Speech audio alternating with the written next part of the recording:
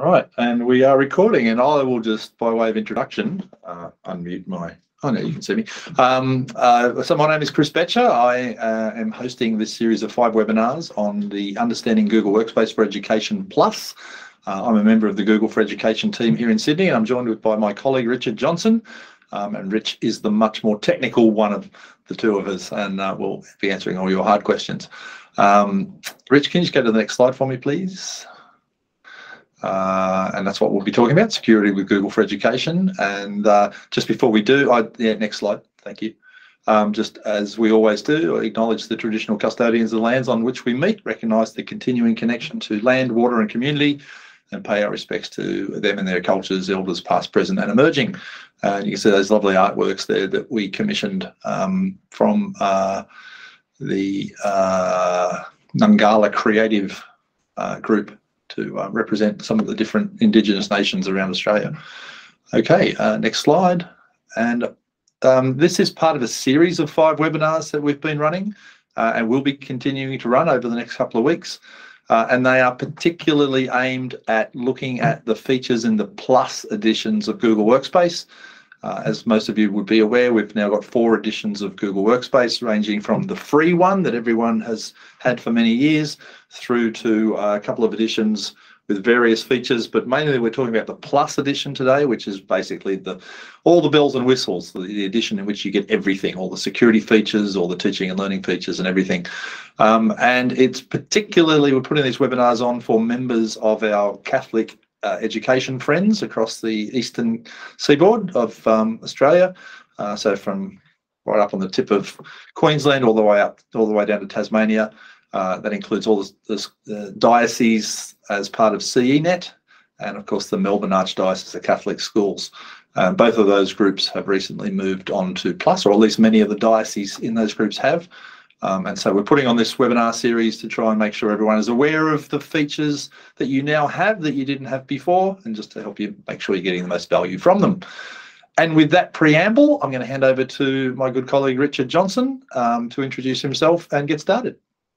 Thanks, Chris. Hello, everyone. Good to see some familiar faces again. Um, this session today is going to go through some of the security features. I'm going to um, talk about our global security very, very quickly. I'll breeze through that um, just so you get a sense of what our infrastructure is like. I'll talk about the security features of Workspace Plus. I've got some time for some scenarios and demos at the end, and then I'll hopefully have enough time for Q&A. Um, if you have any questions throughout, uh, if they're quick ones, by all means, you can pop it in the chat um, or um, unmute yourself and ask. Um, don't forget, we are recording this as well. Yeah, I will be monitoring the chat. So if anything comes up, um, just pop it in the chat. I will uh, keep an eye on it and let Rich know. Brilliant. Very quickly, this is our um, Google for Education team that represents Australia and New Zealand. So you should be familiar with these five people here. Um, they're the people that look after your organizations from a Google perspective.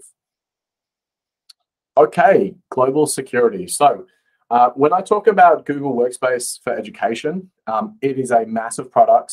Um, it is a global platform that goes across the globe. Uh, when it's uh, when you look at it from a network point of view or a point of present point of view, this is what the map looks like.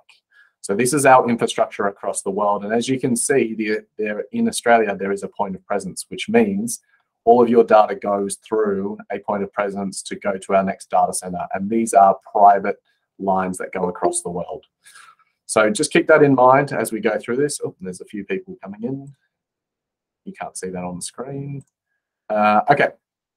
As we start to send information back and forth over these private lines, um, Google does something very special that no one else really does across the world. We secure your data by encrypting that data and chunking that data. So we break it up into little pieces and we wrap it um, with encryption. It goes down the private lines all the way to our data center. When you open up a file again, it comes back, puts it all back together again. And this, this is for redundancy and security measures as well. So if the data center goes down, we can recover your data quite easily um, and make it available to you. Um, so we have a great uptime.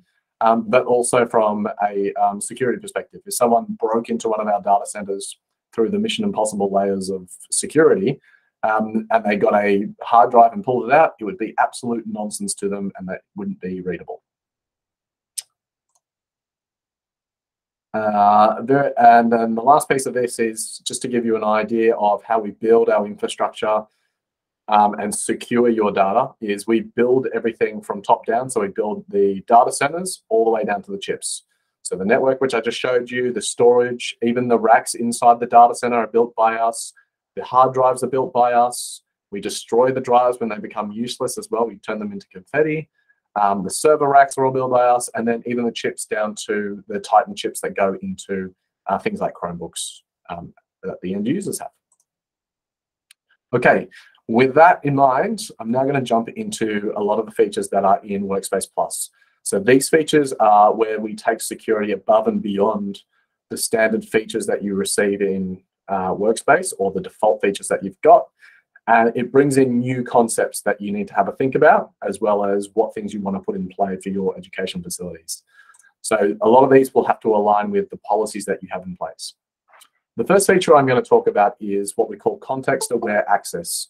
Um, some of you might know it from um, the Microsoft world or another world as conditional access.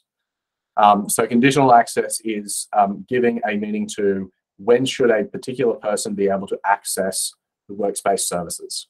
And there are three ways that you can go about this using Workspace Plus. One, you can do it based on IP address.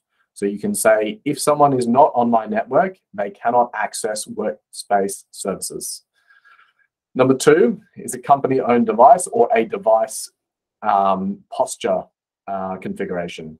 So for example, if they need to be on a Chromebook or it needs to be on a certain version of Chrome, then you can do that as well. So you can say you must have the latest updates or antivirus software um, posture to be able to access the workspace services for your security purpose. And the third one is geolocation. So you can say only people in Australia can access the workspace service in my tenant. So those three uh, go, they're a little bit, I guess, on the extreme side, but your policies may say to you, hey, we need to secure this in a much better fashion. Now, you could use these as a first gate opportunity to stop um, brute force attacks um, in terms of people trying to log into your students' accounts or um, your end user accounts and they try and log in from overseas. They might stop be stopped at the first gate. So that's a prevention measure.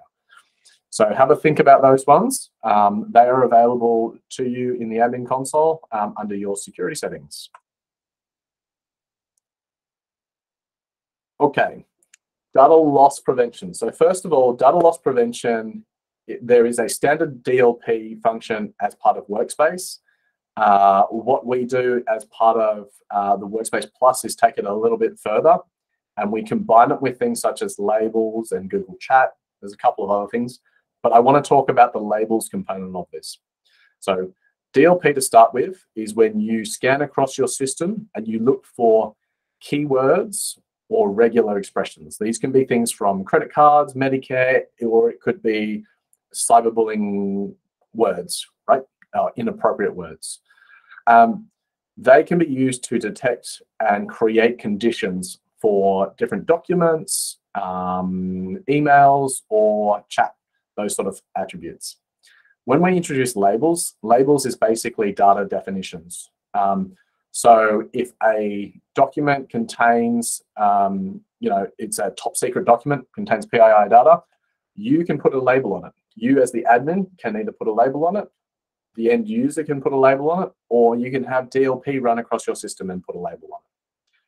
And you can do that for two very good things. Um, one, DLP will stop that uh, particular file being shared out if it has personal information or it has cyberbullying effects on it. The other thing is the label puts a label on top of the document so everyone else is aware of it. And you can change the retention rules as part of that. So for example, if I have a top secret document containing personal information about students or an incident, I can put a label on it. I can then retain that document for 10 years rather than the standard seven years that I've set up in Vault. So a really, really good feature, good for auditing, it may not apply to your students, but it might apply more to teachers um, in the field that are handling this sort of information. Now, some of these features I'll try and show you as a demo in the admin console, but I'm going to go through some scenarios while I do the demos. Okay, drive trust rules. So um, as part of the fundamentals edition, you're probably used to uh, changing the sharing rules at a very top level. So saying that your organization cannot share with another organization or share files out into the public. What Drive Trust rules it does is it takes it down to a more granular level. Now, inside each of your tenants, you probably have a number of schools. You may want to set a policy that each school does not share documents with the, the other schools inside your tenant. Or you could say a class inside your tenant cannot share with another one. This is all based on OUs and groups. So you can say one group shares with another group, or they don't share with that other group as well. This is reasonably easy to set up. However, most of the time is spent on understanding what your policies are. So it does involve a couple of teams from your organization to come back and say, these are what the sharing permission should be. And then it's up to the IT admin to put this in place. As you can see from the screenshot on here, you can see it's reasonably simple to set up. You set up the rule, you then specify which organizational unit you want it to apply to, and the next screen will specify whether you want to put sharing in place or not.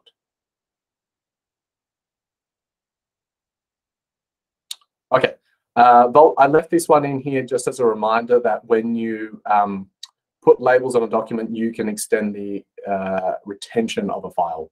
Um, Vault is a standard feature as part of fundamentals. Um, a lot of questions I get is, does this actually contribute towards your storage? No, Vault does not contribute towards your storage. But from a label point of view, just keep that in the back of your mind for retention purposes. Okay, uh, alert center. So one of the new things that comes through with Plus is an alert center around uh, things such as um, phishing, uh, compromised accounts, um, all the sort of security threats. Um, now, we do have standard alerts in there. However, you may want to go above and beyond. Um, a lot of the thresholds for these alerts are set to low.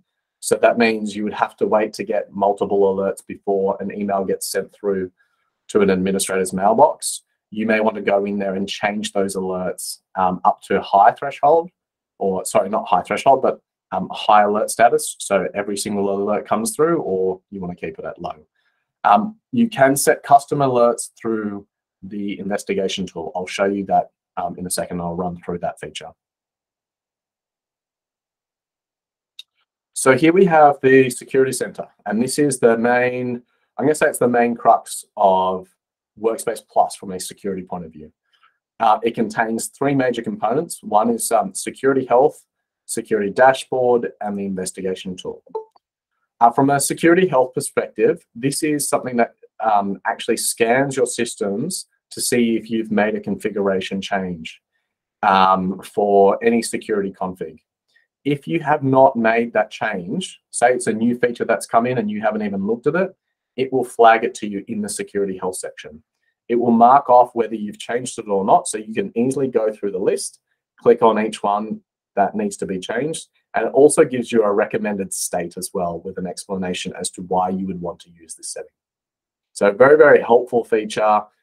Best to have a look at this at least once a month to go through just for your own posture, just for your own understanding of what's changed, what hasn't changed. Um, and yeah, it's a great checklist to use. Uh, you can use this in conjunction with a what we have a, a, a security checklist online as well, which is a little bit deeper than this. Um, and you, if you have a partner that's involved to help you out, they can also do a health check in alignment with this as well. Okay, the investigation tool.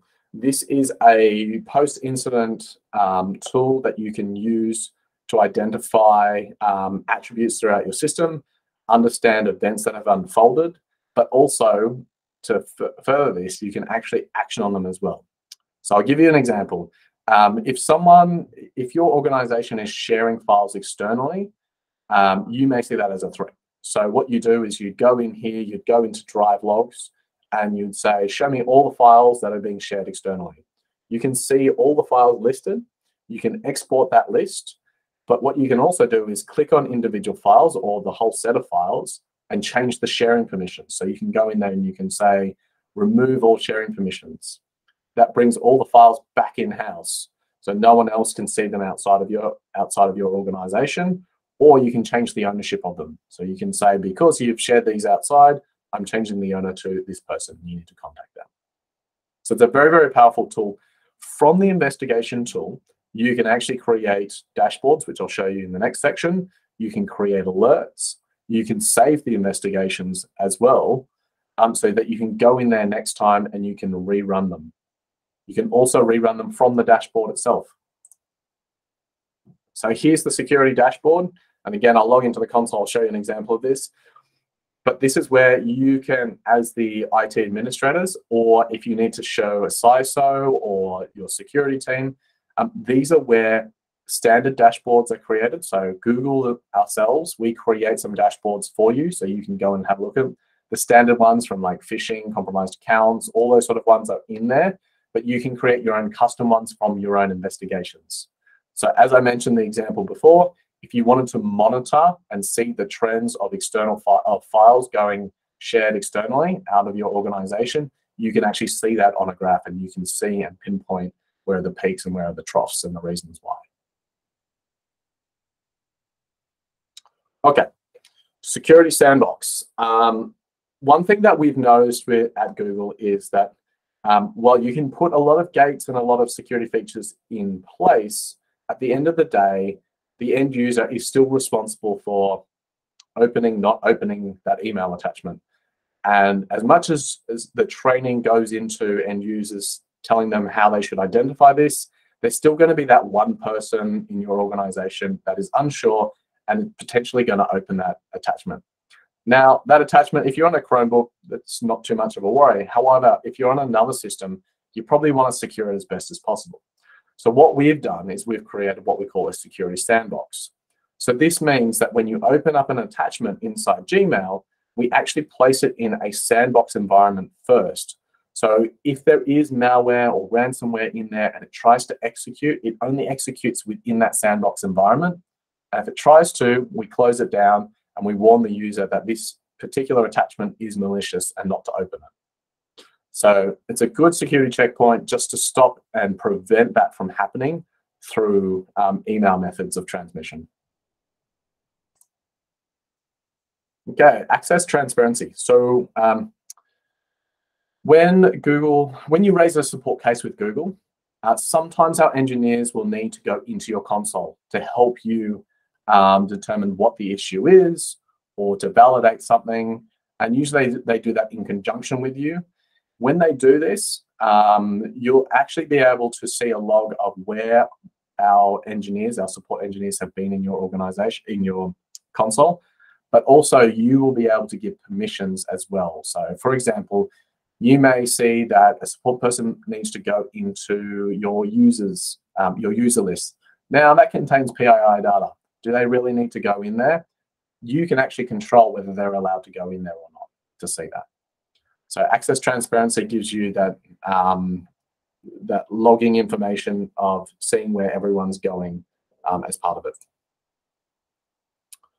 Okay, now I know some of you have actually started exploring this, but this is uh, BigQuery export. Now, while this is basically what you might call, you know, dumping data into another system, it's actually can can be used for two powerful purposes. One is to drive analytics across your organization. So see um, how many people are using a particular uh, document, how many people are using classroom, interactions, all that sort of stuff. On the other side of things, you can actually use these log files as part of the SIEM, so you can export them into a SIEM, or you can just retain the logs for information later on. And the reason I say that is the logs inside Google Workspace are only uh, relevant for six months. They only get stored for six months. Um, after that, they disappear. This is where the BigQuery export functionality allows you to push all of those logs out into the Google Cloud Platform and store them for a longer period of time, push them out to a SIEM, or use them for analytical purposes. Um, and we have a whole team that looks at the analytics and um, use of this data as well for educational purposes. So if you want to know more about that, come talk to Chris or I at the end um, and we can put you in touch with them. Okay, so I'm going to go through uh, three relevant demos and I'm going to try and switch to the admin console as well at the same time. And these are uh, scenarios that I have seen across education. So it's to get you in the mindset of, hang on, this has happened. How do I go about this? So the first scenario is there's a video conference call and an unknown participant enters. Now, they shouldn't be able to do that today, but say you didn't have your settings correctly done. How do we handle this? Well, first of all, you need to identify the meet URL, the time, or the owner of the call. Um, use jump into the investigation center and run a search on Meet. You can download or export those logs showing the external participant entering. Uh, if it becomes a police matter, like if it becomes a serious one, there is a form you can fill out as well. Um, you can then turn that investigation into a dashboard and save the investigation or set an alert for the investigation. So let's see how we go. I'm going to open up my admin console. And I'm going to share this tab instead. Okay. So now I have the meet code. So this is an example where someone's reported it and you as the investigator have gone, okay, tell me what was the meeting code that you used. So I'm going to go into security and I'm going to go into security center at investigation tools.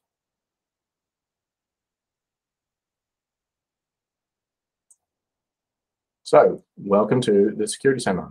I'm now going to go into my data source. Now, I know that this is a, a meet issue, so I'm going to go meet logs. I'm then going to add a condition, and I'm going to say the attribute. I'm going to say is meeting code, and the meeting code is this.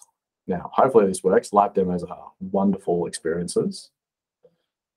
And you'll see it'll take a couple of seconds. And here we go.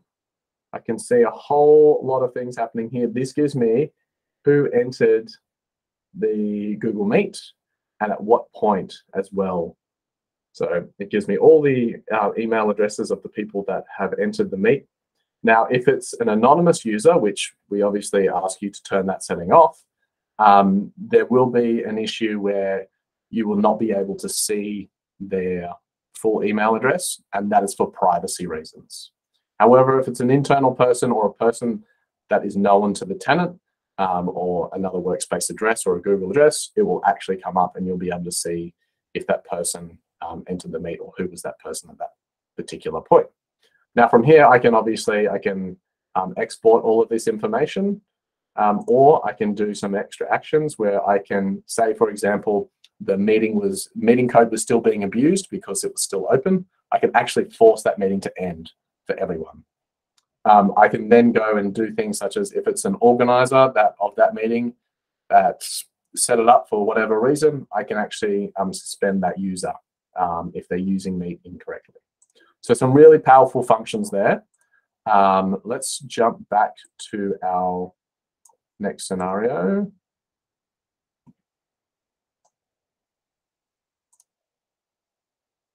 Okay. So um, files shared externally with sensitive information. Um, so a teacher has decided to share files outside the domain. How do we identify these files? Well, first of all, we want to identify the teacher um, or the date, the time, or the content of the file, run a search using the investigation center. Um, we would use our drive logs for this. And if we wanted to, we can change the ownership of it. Uh, we can then turn that investigation into a dashboard. So I'll show you that in a second um, and then set an alert as well. Additionally, if we wanted to, we could start deciding on how we use um, Drive Trust Rules, which I mentioned before, or DLP as well. So let's jump back to the console very quickly.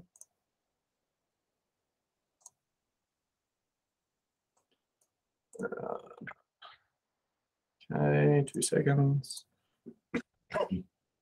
Right. So here I am back in the security center.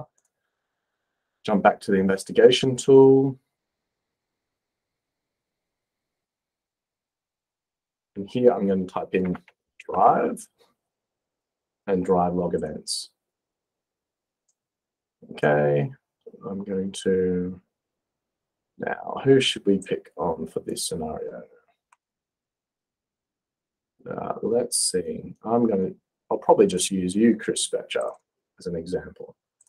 So this is where I'm going to say that the uh, owner is Gotcha. Now let's see what this comes back with. I thought you were going to look at my search history. Kidding. We, we won't look at your search history. That's all right. That's okay. Okay, so let, we'll see what comes back with these results. Um, obviously, Chris has a lot of files. That's why it's coming back. It should show us a whole heap of files that Chris has shared. Um, actually, we forgot one condition. So we've said, okay, this is Chris is the owner, but we also want to add the other condition of where the document has a visibility value of shared externally. Right, so we think Chris is a bit sus, sharing a lot of documents. There's a bit of a leak coming that way. So let's see what comes back here. Partly true. Well, the investigation tool doesn't lie, so we will see what comes back. And it can take a little bit depending on what you're trying to pull back. Here we go. So I can see that Chris has shared some of these files externally. Now, participants looks a bit, bit dodge, right? So I'm going to click on this. Now I can export all this list if I want to do it for an audit purpose. Or I can go in here and I can audit the file permissions and hopefully he shared this with multiple people. There we go. So he shared it with some random people and himself. Now I can say this looks pretty dodgy. Well, it does actually look pretty dodgy. it does. Email address, please, at gmail.com. So I can click on this and I can set the access. I can change that access level to view only, or I can remove access altogether. And I can do that en masse across um, a number of files as well. So it's a pretty powerful tool, especially for audit and um, investigation. Now, say Chris is a repeat offender, I can go in here and I can say create custom chart. And I can call this, purpose of this, I'll just call it Chris monitoring. Um, just copy that and I can save to dashboard, right? I can also save the investigation if I want to, so I can come back in and rerun it. However, once it's in the dashboard, there is no need for me to rerun it from the investigation tool. I can simply come in here. I can see that Chris has been sending out files on the 31st of October, and I can just click investigate. And it will also show me all the trends on, back on, on here. So it takes me back in here, automatically starts running the investigation for me. So think of it like that. If if you have a um, a security issue or you have something that's reoccurring, this is a really good tool tool to keep track of it between the investigation tool and the dashboard. Okay. Uh, very quickly, you can see I've run some of these samples before. You can see these are all my custom ones that I've set but as you get down to here, you start to see the ones that are set up by Google. So authentication, encryption, spam, message delivery, all these ones, they're all pre-built for you. Um, and you can view those from a report, um, from the report center as well. Rich, can I just ask this question? Can you? I can see it goes from October 27 to November 2. Can you change the timescale on that? Oh, um, sorry, I see it at the top. I've answered my own question. Last yeah. seven days at the top, yeah. Yeah. Um, you, yeah, you can change the date range um, if you'd like to. Um, it seems to be reasonably flexible. Um, just remember the logs only go for about six months. Um, so the dashboards will reflect up to six months. Right. Yep. Okay. Now I'm going to jump back. And we've got about 15 minutes or so. I'm going to jump back to our third scenario very quickly, if I can find it. Okay. Now, our third scenario is Okay, a student's account has been compromised. So a student has shared their username and password online. No one knows why they would do something like that. Students wouldn't do that. Um, and it's been used to access Department of Education stuff and communicate with others. What steps do you take? First of all, you identify who the student is and then use the investigation tool to run a search on the user login events.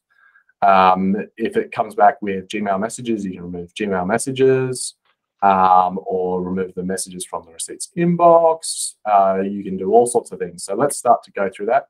Now, after the incident happens, this is where you may want to use something like context aware. Uh, context aware access um, that could help with that sort of thing. Set up alerts for suspicious logins as well. Um, and then do, you can also do a password reset on the user. So let's have a look at this. Uh, change back to my investigation center.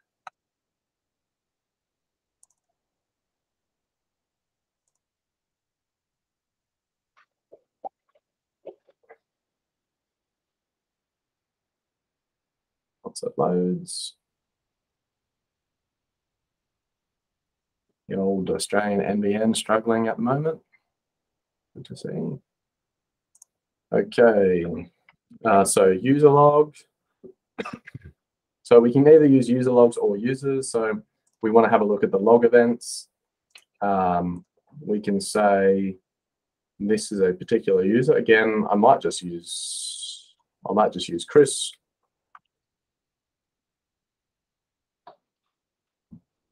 Let's see what this comes back with. Now, the other thing this will pick up is things like suspicious login events. Um, so this is where, for example, um, our systems uh, pretty much predict where Chris is going to log in from. So if we know that Chris logs in from home and from work, that's a normal routine for him. If he logs in with a different IP address at a strange time, we're going to list that as a suspicious login event. He may have the right username and passwords, we'll still list it as suspicious. So you can see here, I can see when he's logged in, logged out, successful login. You'll see a whole lot of this, right? And what we're looking for here is you can actually see whether it's suspicious and we can add that as a result. So for example, I can add a, um, I can add a, a filter here is suspicious.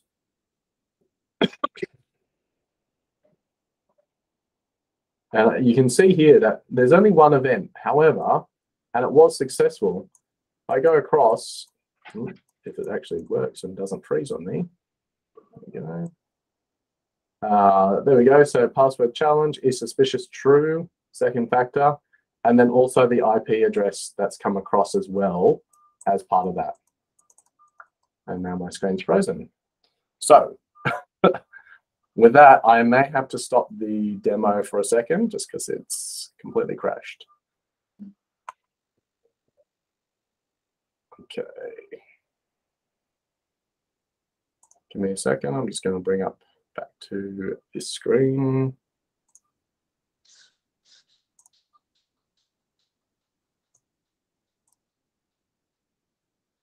Okay, so, uh, okay, I'm now going to leave it open to Q&A and I'll try and get the console back up and running. Are there any particular questions or any particular topics that anyone wants to talk about regarding the features that I've just shown you um, and how to use them.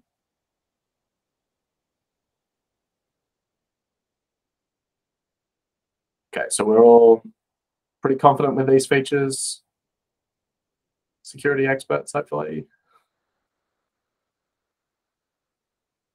Every time I see you demonstrate the um, investigation tool, Rich, I just get uh, a little bit more amazed at how powerful it actually is. Yeah, absolutely. And the um, the list that you can search on just keeps growing. I've seen it grow um, 10x in the last couple of months. Oh, yeah, okay. So I just not my imagination. I just thought I must have missed a lot of stuff in the beginning, but it is actually getting more, um, yeah. more granular. I can, uh, if this can share again, I can. There we go. Something's working.